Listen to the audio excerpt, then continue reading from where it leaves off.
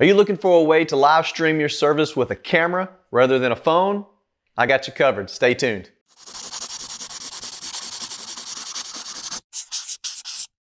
So here lately I've been doing some live streaming and people have been asking me, how do you do this? How do you go about setting it up? Is it hard? Is it difficult? I've been live streaming with a phone, but I don't want to go with a phone anymore. I want to, I want to use a camera. I want to have a whole presentation system. What can I do? How do I get that working? Is it difficult, easy, whatever? So I'm gonna show you how I do it. I do it a very simple, easy way. There's, there's better ways to do it. There's ways that require more equipment, but I don't have a lot of money to buy all that special equipment. I'm doing this for free. Uh, so what I'm doing is I'm using a, uh, a Canon M50. That's what's filming me right now. Uh, but today I'm going to show you with a Canon T5i. Uh, this should work with any other camera as well, uh, but this is what I'm going to be showing it with uh, today. The setup itself is pretty, it looks kind of large, but it's really, really not. Uh, so I have a uh, computer here. This is my main screen that I use to actually control everything. Uh, this screen over here on the left, this is what would be the, uh, the, the, projector screen. It's the, the screen that's going to be throwing up words that I can then lay on top of my live st uh, stream video. And this over here is actually what's controlling the broadcasting uh, software that sends it to uh, uh, Facebook or YouTube or Twitch or wherever you want to go. Uh, this one is not necessary, but it is uh, highly recommended to have a third monitor. These are old computer monitors that I've scrounged around and found, and I just got them hooked up with HDMI uh, to VGA uh, adapters, and this is a USB to VGA adapter. That way I can get this multiple setup. So first thing, you gotta hook up the camera. That's where the cables come in. Some cables or some cameras can go uh, with you know Bluetooth or wireless or connect to your, to your Wi-Fi, but uh, not this one. So you got to use HDMI cable hookup. So I have an HDMI cable hookup. I'm gonna hook this up and then we'll jump over here. Let's go. All right, so we have the camera, HDMI cable plugged into it, and that's into the computer. But before we can get the video off of the camera and onto the computer to be sent to the broadcasting software that then goes to Facebook, YouTube, Twitch, or wherever, you're gonna have to have some additional software to pull the video off of here. So it doesn't normally just do it as soon as you plug it in, you have to have some stuff. So because I'm using Canon, I'm using the Canon EOS utility. If you don't have it, then you can go to Canon's website, search utility. I just Googled Canon utility and it's gonna pop up uh, this screen right here. And then you can just scroll through the, all the camera models and pick the one that you have, download that and install it. Now, as soon as you turn on the camera, once it's plugged in, it will pop up automatically. And from, from here, what we need to do is click remote shooting. And then the next window, you're gonna choose live view shoot. And there we go. We got our live view. Now, obviously you can see how there are these grid marks on there. So down here at the bottom, little button right here, the focus points, you can turn that off. That way uh, you can show the live feed without showing where your focusing uh, grid is. Now, I'm just gonna set this right here. Zoom in on something nice. There we go. How about that? Nice road camera in the background. You need to know that at this point, my camera is not recording. Uh, I don't even have a, a, SD card in the camera, but it's still sending that feed to the um, to my, uh, my computer. So we're, we're good. So from here, this window has to stay up. Now it can be in the background, but you can't minimize it because we're about to send this feed over to OBS uh, which is uh, the broadcasting software that we're going to use. Uh, so you need to download, if you haven't already, download OBS. So again, we can go to obsproject.com and then download the, uh, the version that is for your system. Whatever one you need to get. So I already have this open because I'm recording all this with the screen recorder within OBS. I'm gonna drag this. This is why I have that third monitor that's over here on the right side because that's where this is running. So you can see here uh, on the, the right side, this is what is being recorded. So uh, what I wanna do now is we need to add that video feed from our camera to OBS. So this is probably, I'd say, the hardest part about setting up this live stream uh, with a camera. So if you look over here on the left side, you'll see where it says scenes. I like to think of scenes as a schedule. So if you're used to any type of uh, pr presentation software such as ProPresenter or EasyWorship, which is what we're going to be using today, I know it's not as popular, but that's what we have. Um, it, it's, you, you should be familiar with a schedule then. It's just a flow of events, what's going to happen. Uh, so you can build the scenes over here. You're just going to name it, and then within each schedule, you're going to actually put in what you want. So I'm going to build uh, one that I want for when the guy is, is, is playing the music. I want to show the guitarist, he's singing, he's leading the music. Uh, so I want to get that feed on there. So down here on the bottom right, I want to put plus, and I'm going to call this uh, music, okay? Because that's what we're going to be, that's what I want to show. So I'll click here at OK. So over here on the right side, we have our sources window. And from our sources window, we need to actually add here in this spot the video feed from our Canon camera or whatever type of camera you have. So I'm gonna click this plus sign and I'm gonna come down here to uh, window capture. Now this is going to allow me to select a certain window and the window that we're using is the Canon EOS utility software. So click window capture. This is coming from my uh, Canon camera so I'll just call it Canon camera.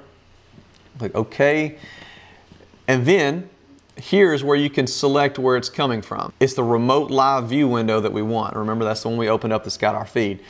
You can see here it's also showing everything else that's on there. Well we don't want all of this stuff over here. Well, we can fix that in a minute, but right now, this is what we want. So I'm gonna hit okay. And now within this, here I'm gonna switch off of studio mode. Now, I'm, see, it's still showing the scene for my main monitor, but I want it in the music. So I'm gonna click music, so this is what we have.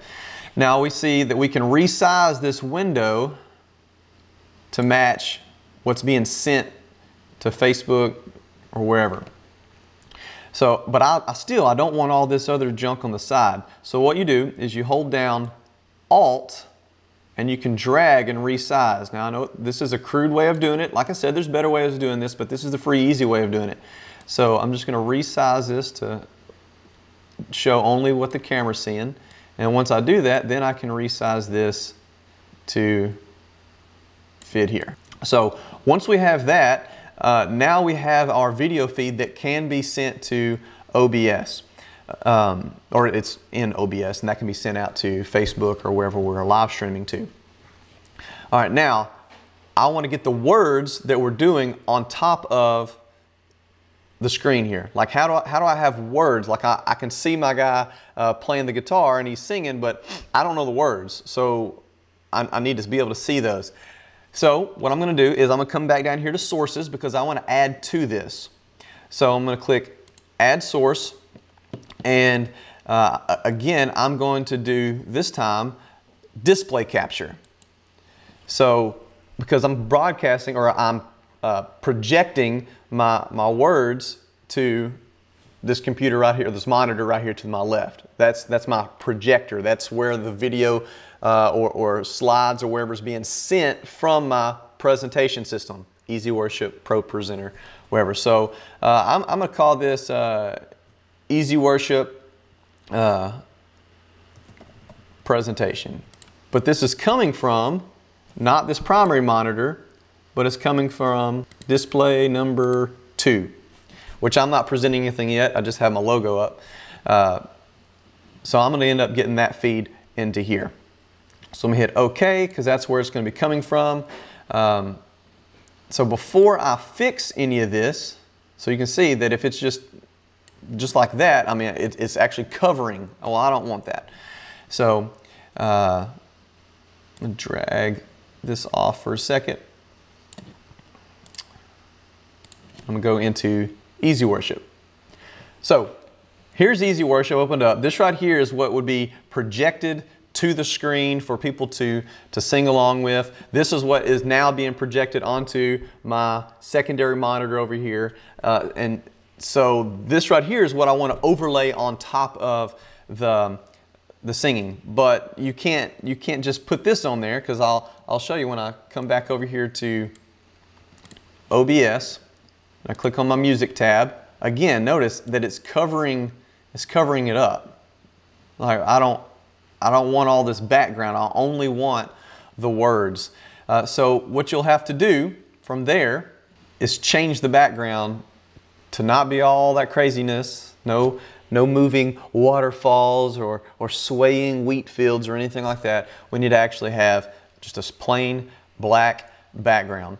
Uh, so I've set it a theme up in, in here. There's different ways you do this uh, depending on whatever your software is.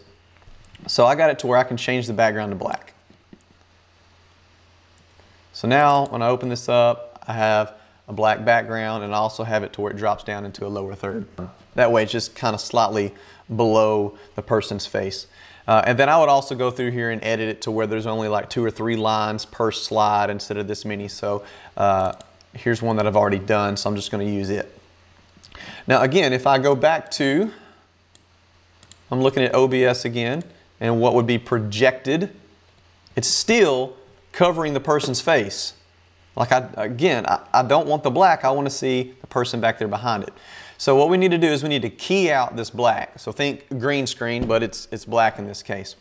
So in order to get rid of the black, what we do is we click right click on EasyWorship Presentation, click Filters, resize my window here, and then you can click the plus sign down the bottom left, add color key. Uh, so I'm just going to leave it named color key. Uh, so it, it, has green set right now for like green screen, but I want to change this to black because that's what my background is. So I'm going to choose custom color, select color, black. And now Notice all that black background goes away and all that's left are the words on top of the person singing. So you can drag this around and put it wherever you want. Now, some other stuff that you can do that I found is really cool is that I have, um, before the person gets up there to sing, we might be moving some stuff around. So I don't want to have uh, I, I, don't want people to be seeing us moving the, the camera around to move the, uh, the guitars around. So I have it set up to where it shows just a, a certain image of what's coming up prior to this. So I'm gonna come back over here to scenes and I'm gonna add, uh, I'm just gonna call it music transition. And I'm gonna drag it above music. So there's nothing in there right now. Uh, but I wanted to show who's about to start singing. So music transition, I'm gonna come over here to add, but this time I'm gonna uh, choose image because it's just a picture. Image, and I'm gonna choose uh, um,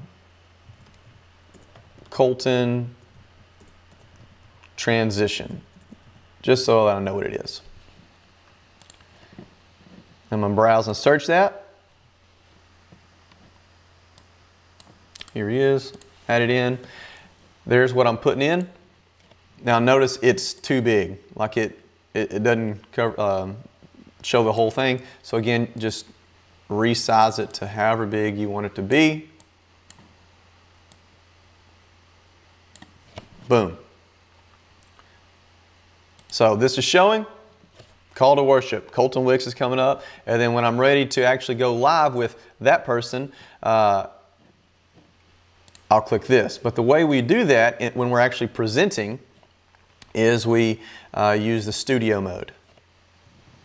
So I, am showing over here on the right side, this is what's being presented. On the left side, this is what's uh, is coming up next in our schedule. So I want the music to be next in the schedule. So when it's time to actually send that over uh, to, to the live feed, I just click transition, and then it shoots that over. Uh, and then I'll, I'll make several of these upcomings or what's next, you know, just to show, just to kind of give space to where if I need to cut away and don't want the live stuff showing, I'll have something I can go back to. Now, uh, you'll notice down here that I have this audio signal. This is just the mic that's picking up from the built-in of the, uh, the computer. But I run all my audio through a, a mixer amp and then just a, uh, little auxiliary cord that that goes into the computer itself. and that's where I get my, my audio from. And to add audio source, because you got to have that too. That way you have good audio. You don't, you know, with a phone or something like that, or just using the, the built-in mic from the camera, it's not good. So if you have an audio source that you can plug into it, it's going to be better. So, um, so I'm going to go back to music because I want good audio. So I'm going to click Add Audio Input Capture. And let's say mixer amp or whatever it's called. Uh, click OK. I'm gonna find it, and then uh, then that's in. And then you can adjust adjust it over here. So once you find it, turn it up, turn it down. Now, if you have any audio sources in any of these pre-service slides, you're gonna wanna mute those. That way no audio is getting sent to the live feed until you actually click on your scene that is showing the, uh, the, the, guitarist or musician, whoever, or, or the person speaking, the, the preacher, or whoever. Okay. Now, the final question is, how do I get this to Facebook? Okay, because I mean, I'm showing all the broadcasting stuff, but how do we get this to Facebook? So we'll come here to Facebook and it's from here that we're gonna get our live stream key that we're gonna end up plugging back into uh, OBS. Just click on live. All right, so within the stream setup, we wanna use the stream key because we, are running it into OBS. So right here, the stream key, you'll just click copy. And once you have the stream key over here in OBS, We'll come down to settings. We'll go to stream. We're doing this to Facebook, so service is Facebook Live. And then the stream key, we'll just copy and paste that right in there. Now, I'm not going to actually go live with this, but once, once you have that uh, stream key in there, all you do is you go to the slide that you want, that you're ready to present from, and then just click Start Streaming. Now, once you click Start Streaming, it's going to send that feed to Facebook. But over here, see where that Go Live button, it's grayed out. Well, if I actually put that stream key in and then click Start Streaming, that video is going to show up right here. And then as soon as I click Go Live, that's when it's going to send it out to the public or whoever else you have set up to be able to view it. And that is, that's it. That's, that's the gist of how to do a, a live feed stream to Facebook, YouTube, or whatever using a DSLR camera, um, some presentation system, how to get the words on there. So that's that's it. And like I know there's probably some things that I didn't cover, didn't mention. So if you have any questions, just let me know, and uh, I'll try to get back with you on that. All right. We'll see you.